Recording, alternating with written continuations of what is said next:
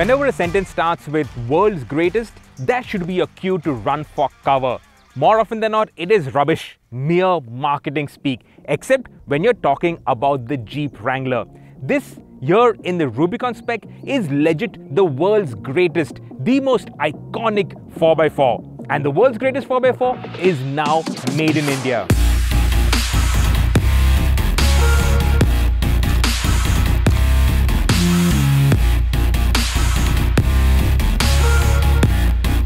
Now what makes the Wrangler Rubicon the world's greatest 4x4? For that, I've got to rewind three years, back to the days when we could actually travel, jump on a plane at a mere moment's notice and drive really cool cars in really cool locations.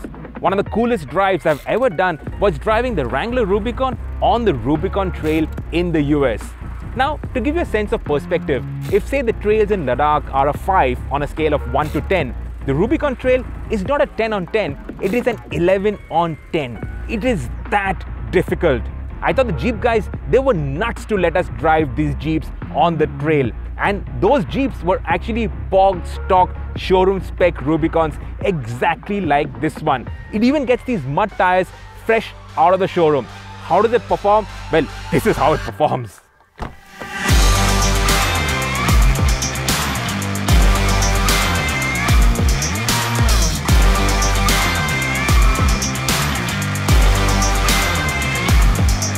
I will admit that I am not the world's best off-road driver and that is why, without 4x4 experts on hand, we are going to take it easy with this made in India Rubicon.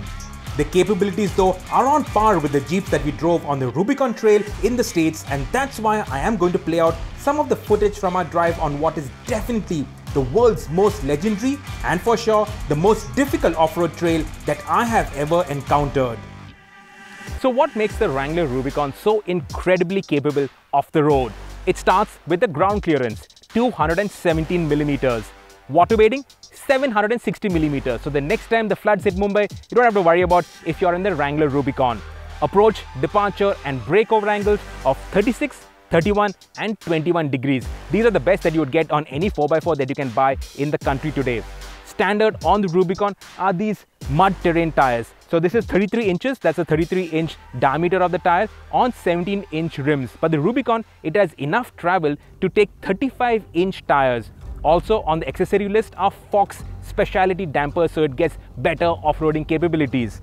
This black bar at the bottom, these are rock rails. So in case you do run out of travel, that will make sure that your chassis does not get damaged. The capability is incredible.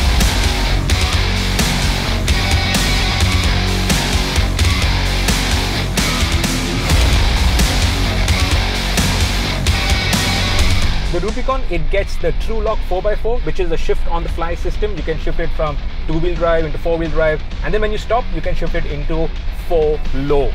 Now, it's got front and rear locking differentials. This red panel out here, that is exclusive only to the Rubicon. And you can use this button to lock the rear differential and the front and the rear differential.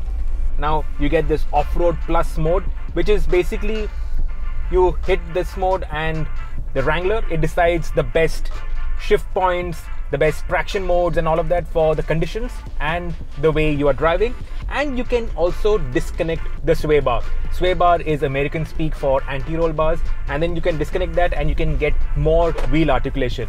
The wheel travel is an incredible 200 millimeters and the dampers, these are really high quality gas charged monotube dampers. So even when you drop a wheel into a really deep ditch, it doesn't feel like the Wrangler is going to explode. The damping sophistication is actually very good. And if all this weren't enough, you also get skid plates and rock rails. So what that does is if you're going over extreme obstacles, boulders and all of that, this allows you to, while you're hitting it, to actually slide over those boulders rather than those boulders damaging the chassis. And of course, all the electrical connectors, they're all waterproof. So you can drive it through the rain with the entire roof off and that's what the Wrangler allows you to do. So this is a hard top, but you can also convert it into a no top. These panels, it has got three or four latches. It takes 10 seconds to get these panels off and the entire roof it takes a minute, two minutes to get it off.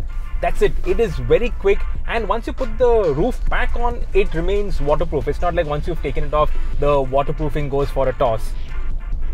The other thing you can do with the Wrangler, it has a tool which is standard with the car and you can take off the doors. It has got these special nuts and you got the screw in the toolkit. And using that there are two exposed hinges on every door and you can take off the doors. And that's why all the electricals like the power window switches all of that is on the center console. It's not on the door. So you can take off the doors you can even drop the windscreen. Now, there's no real reason why you would want to drop the windscreen, but it harks back to Jeep's past because when the Jeeps, the original World War II Jeeps, were airdropped, putting it in those crates was only possible because the windshield would fall flat and that's how it would fit in the crate. So, it is a nod back to its history.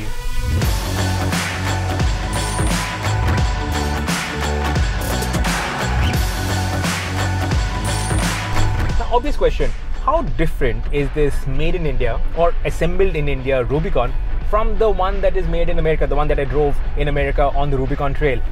Browsing through the spec sheets, the only difference that I could spot was the ground clearance that is less on the Indian version by 50 millimeters, and because of that, the approach, departure, and breakover angles are also slightly not as great as the American version, but it is really extremely minor, and it's only really, really hardcore off-roading enthusiasts or off-roading specialists who will actually notice it. For our abilities, this is more than capable. Of course, you're not going to be doing off-roading every single day with the Rubicon. The Wrangler, it's as much a lifestyle statement as it's an off-road tool.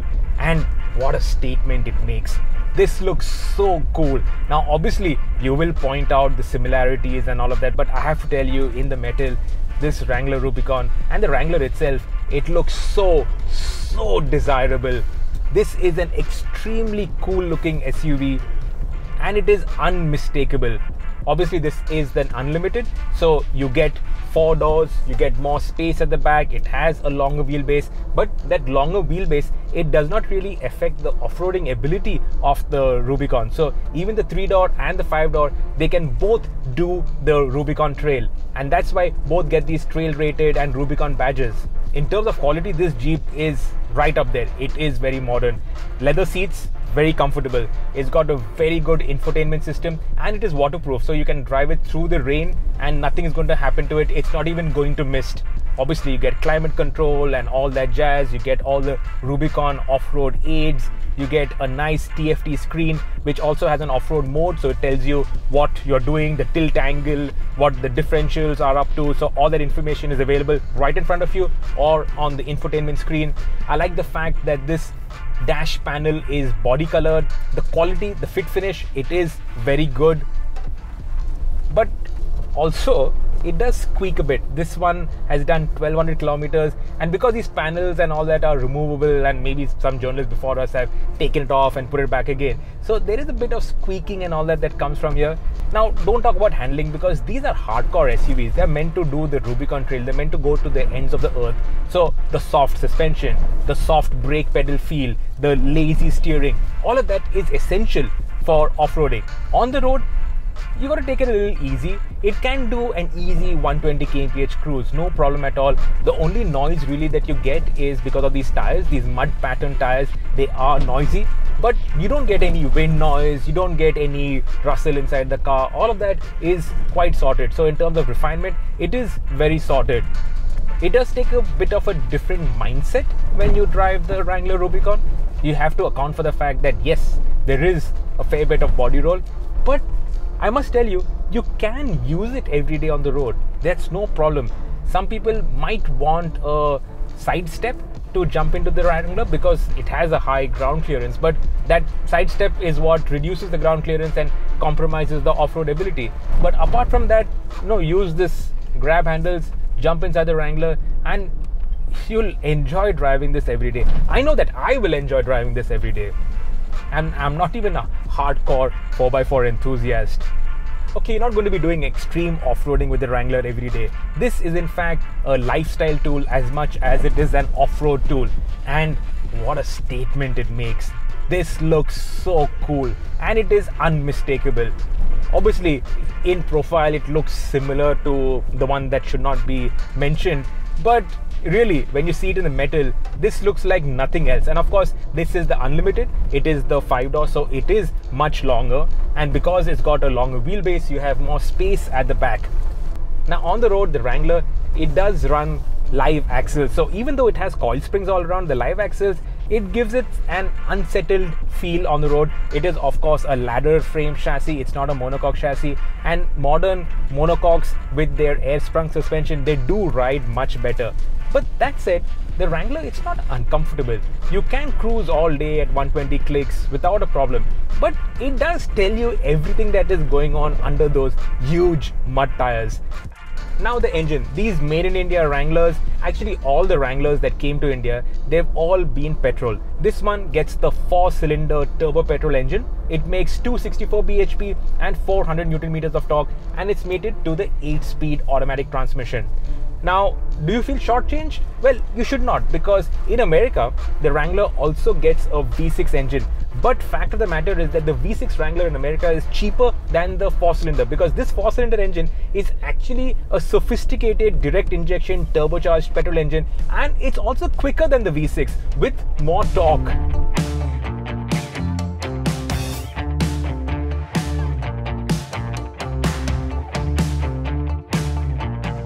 Truth be told, I'm not the world's best off-road driver. Heck, I don't even like off-roading all that much. But when you have a tool like the Wrangler and especially the Rubicon, you see any trail going off into any place, you put the Wrangler through it and it will go through. 9 times out of 10. Forget that. 10 times out of 10, the Wrangler will go through. In fact, the only real limiting factor is the person behind the wheel. Otherwise, the capabilities of the Wrangler are maddening and now that it is made in India, it is also more affordable. So the Rubicon, it costs 57.9 lakh rupees and if you don't want all the really serious off-road kit on this, you can get the regular Wrangler for 53.9 lakh rupees.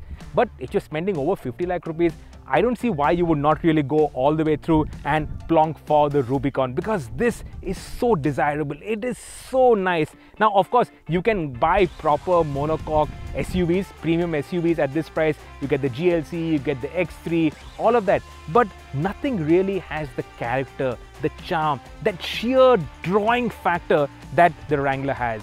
Something like this, you love it. You love it today, you love it tomorrow, you love it for the next 10 years. This is I love it. I love it. Subscribe to the Evo India channel and hit the bell icon to keep pace with the thrill of driving.